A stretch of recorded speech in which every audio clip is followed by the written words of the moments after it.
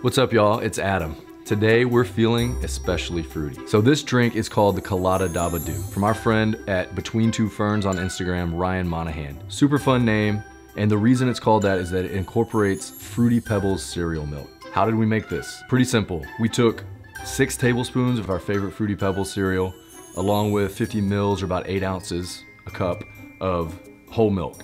We let that sit at room temperature for about 20 minutes and let that infuse and then we strained it out. First, we're gonna add two ounces of white rum, followed by an ounce and a half each of fresh pineapple and our Fruity Pebbles cereal milk. Next, we'll add half an ounce of our toasted coconut syrup, finish with a quarter ounce of fresh lime juice. Add about a cup of ice and blend this on high until it's smooth and creamy. Now all there's left to do is pour this into your chilled rocks glass and garnish. And there you have it, the Colada Dabba Doo. Cheers.